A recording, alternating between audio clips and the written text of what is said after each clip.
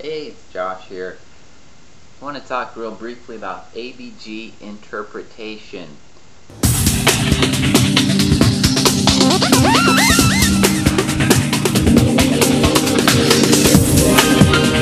Remember that you are looking for a first name, a middle name, and a last name for your ABGs.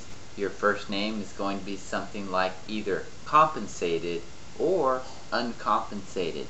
Now your middle name, respiratory or metabolic, and then your last name, acidosis or alkalosis.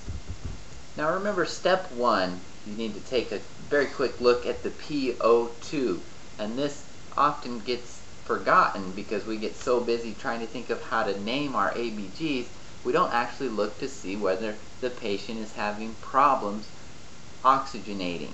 And so PO2, remember if your patient's PO2 is less than 60 millimeters of mercury, your patient is in acute respiratory failure most likely. Step two, look at the pH to get both a first name and a last name for your ABGs. Your first name, remember, will be either compensated or uncompensated, and then your last name, acidosis or alkalosis. So if you take a look here at this little triangle, you have on the left hand side 7.35. Anything less than that is uncompensated acidosis. Anything greater than 7.45 on your pH is uncompensated alkalosis. Right smack dab in the middle there, 7.40. Anything to the left of that or anything less than 7.40 is acidosis. Anything greater than 7.40 is alkalosis.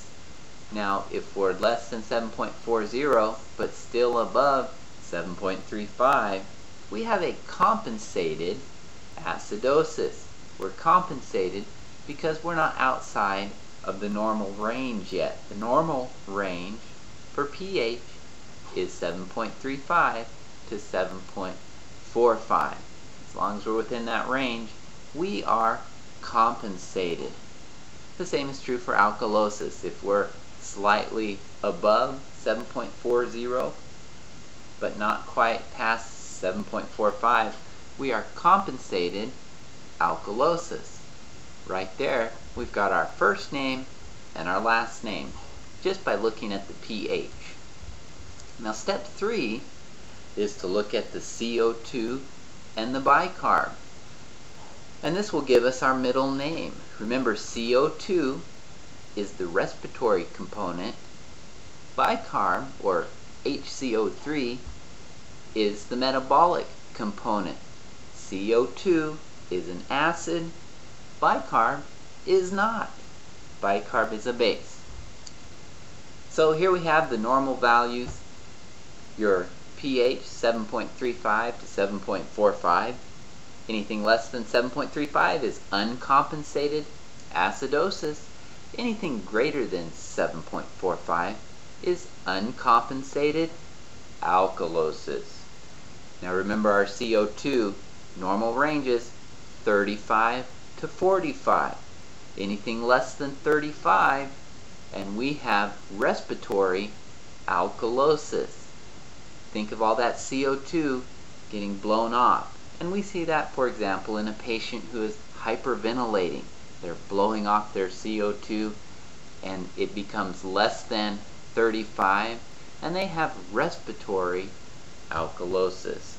Anything greater than a CO2 of 45 is a respiratory acidosis. As we hold on to that CO2, we become more acidotic. So then our last number, our bicarb, is the metabolic component. The normal range is 23 to 27. Anything less than 23, and we have a metabolic acidosis. Anything greater than 27, and we have a metabolic alkalosis. So there you go, ABGs, quick and simple. I hope that this helped. And remember, save lives, but most importantly, have some fun.